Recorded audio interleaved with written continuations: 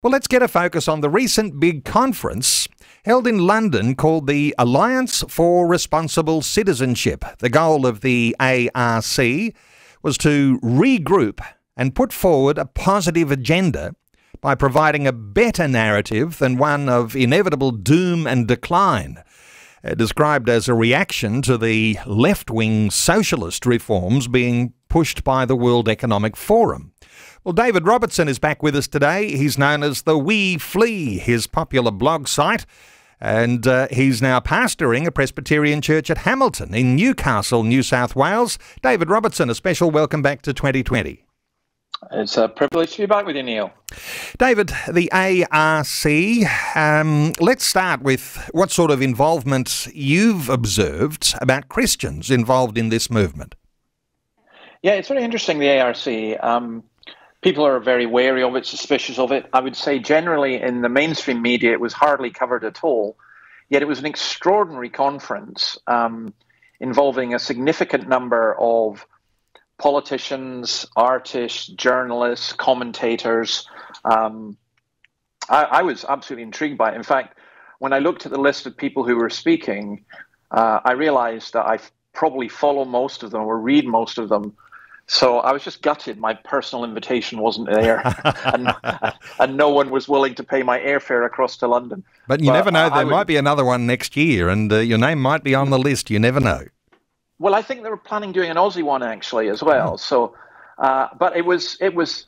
I would say to your listeners that it's well worth going onto YouTube or just onto the ARC website and just listening to the videos. They're like a lot of the talks are 15 minutes uh, thoroughly stimulating. You won't agree with everything. Some of the panels uh, were absolutely excellent. Um, but there was very strong Christian involvement. For example, Os Guinness was one of the main factors. Uh, John Anderson from Australia, uh, who's a well known Christian here. Uh, Paul M- Marshall, who is a key factor in that. And I think he he's the main funder uh, and head of GB News. Um, he, he's a b- believer as well, I understand. So there was a big Christian influence, although this was not a Christian conference. And uh, there was an emphasis on spirituality. Jordan Peterson, one of the main guys behind this, is uh, someone who's well known for teaching about the Bible and searching after God. And Jonathan Pageau, the uh, the Orthodox, the Greek Orthodox philosopher, he spoke and he was absolutely brilliant. So there was phenomenal Christian influence, but it wasn't a Christian conference. And this is an important element just to pick up on here. Uh, it's not billed as a Christian conference, but you've got a yeah. lot of Christian input. And in some sense, here, if you're going to be an influence as a Christian, uh, in a lot of ways, you've got to be able to open up uh, the uh, the vista of possibilities of talking about things, uh, even though it might not be specifically Christian, but it's got to come around some sort of things that actually we might even understand uh, in a deeper sense, having an undergirding of Christian foundations. Is is that the way you might observe something like this ARC? Oh, absolutely. Now, I think I ought to be be wary as well that there are people who who just say, "Oh, this is a bunch of, you know, right wing people," and that's not true. I think right and left uh, wing terms are pretty meaningless in today's politics. I would certainly say it was socially conservative as opposed to the progressive. Uh, that certainly binds more well with the biblical line. But yes, I do think being salt and light means you have to be involved with people who are not Christians and that's what this was about. Interesting when you say, um, you know, is it left or right? I think it was billed as sort of centre right, uh, which is mm-hmm. not necessarily centre left or any sort of extreme there. But another way of characterising that might be around uh, one report suggesting the conference would replace a sense of division and drift within conservatism and Western society at large with some renewed cohesion and purpose. So there's a way to look at it that says uh, regrouping around a conservative agenda. Would that be a way of, of looking at it? Yeah, I'm, I have to say, though, I'm not over fond of the word conservative. Uh, you know, maybe it's my socialist background, but um, it, it, no, it, it's look. I, I would regard myself as a Christian as a radical, So it depends. When you say conservative, it depends what you're trying to conserve. If you're talking about conserving the family, if you're talking about conserving what's good, if you're talking about being salt and light, then yes, I'm a conservative. But if you're talking about turning the world upside down, as as the early disciples did, if you're talking about changing the unjust structures uh, and the iniquities within our culture, then then I'm a radical. So ironically, I think I think we're both radical and conservative. I I what what I saw in this conference was tremendous hope. I think, particularly for the West, in uh, a possibility of returning to our Christian roots. That that's as far as I would go. So, where you've got Christian involvement in the conference, uh, a return to Christian roots, uh, that would indicate that we've lost an anchor. Uh, Western civilization has, you know, uh, been separated from those Christian roots in some sense, and something like this creates opportunity to re-establish some of those foundations. Yes. So I think that what's happening with the um, so-called progressive movement, I think it's not progressive. I think it's regressive, and I think they know how to destroy. They know how to deconstruct. They know how to knock down but they don't know what to put in its place. And it's chaos. I mean, we're seeing chaos in the world right now in lots of different ways.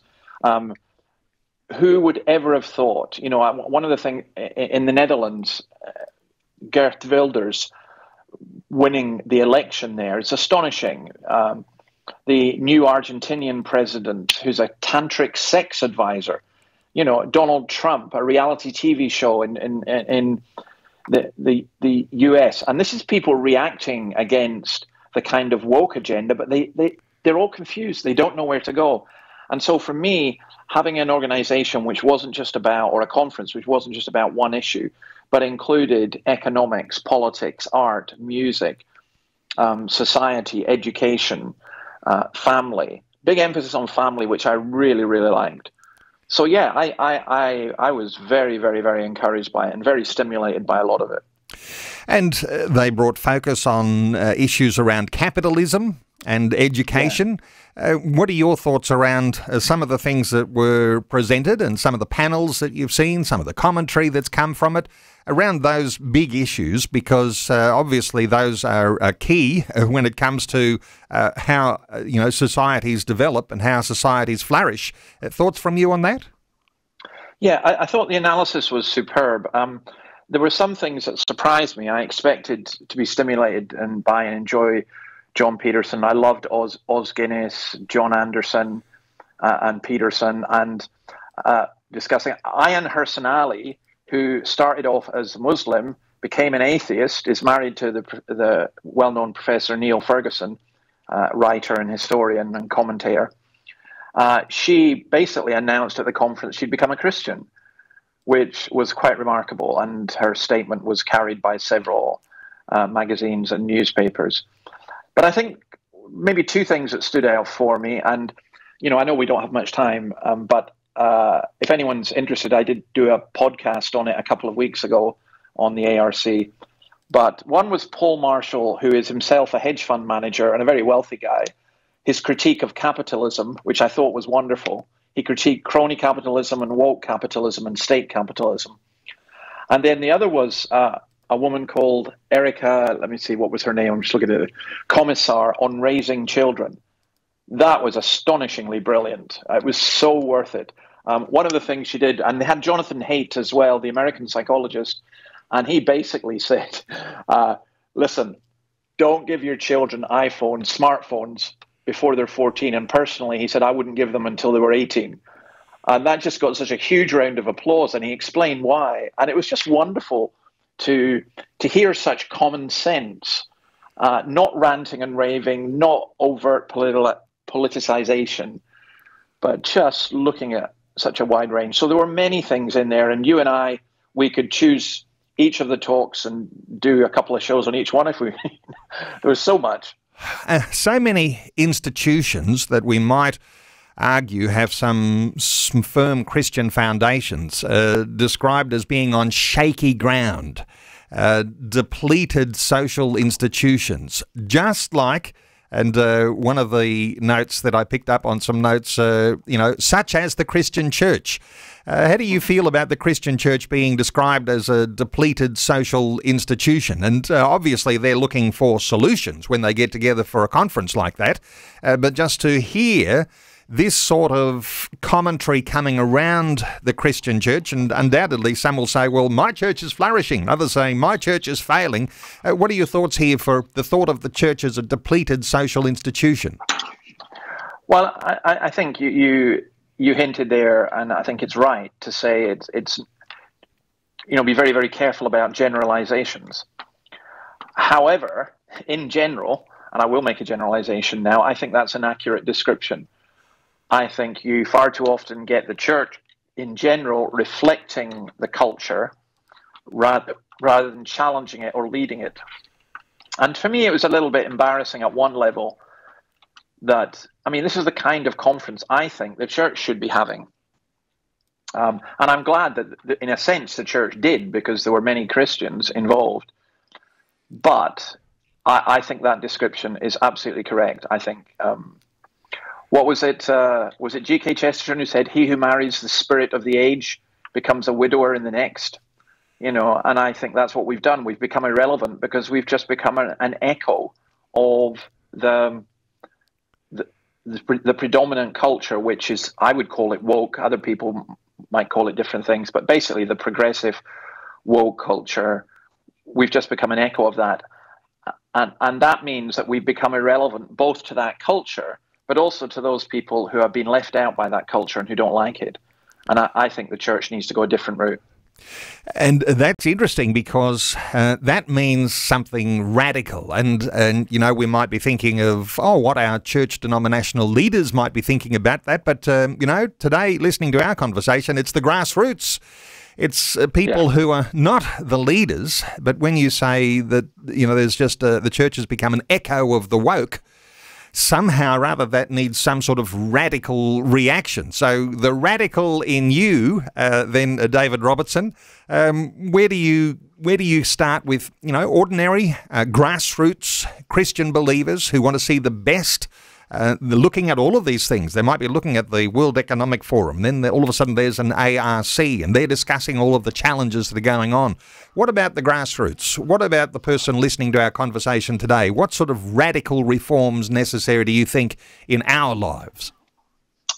Well, okay, at, at, diff- at, different levels. Firstly, at a personal level, the closer we get to Christ, the more we will be salt and light. So, uh, growth in our own personal faith and holiness and so on. Secondly, our churches need to be much more radical communities um, uh, and not just social clubs uh, where we have a prophetic ministry of proclaiming the word of God, but also living it. And then, thirdly, the, the salt and light for me.